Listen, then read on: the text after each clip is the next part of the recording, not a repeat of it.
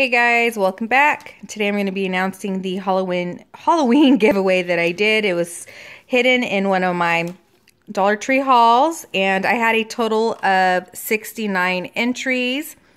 And to be entered into the giveaway, all you had to do in the comments down below was letting me know what you normally do on Halloween night or Halloween day. So these are all the entries. And I want to thank you guys all for joining. I love to hear all the um, stories as far as what you guys all do and your traditions. I thought it was really cool.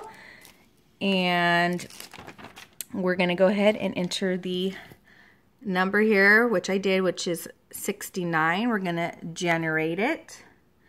And if you guys who doesn't, you know, if you guys don't win, don't be discouraged because I'll be doing another one soon. So we have the lucky winner number 16, which is T-Bone Yvonne. You are the lucky winner. So I'm going to go ahead and leave my email in the description box below or you can contact me on Instagram if you are on there. I'm not sure.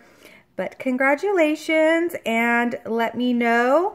I will also leave a comment under your comment stating that you won this giveaway. And then um, if I don't hear anything by Monday, I will have to announce another winner. But thanks guys for all participating. And like I said be, before, I will be having a, another one which will be for fall. So congrats T-Bone Yvonne and I will see you guys all in my next video.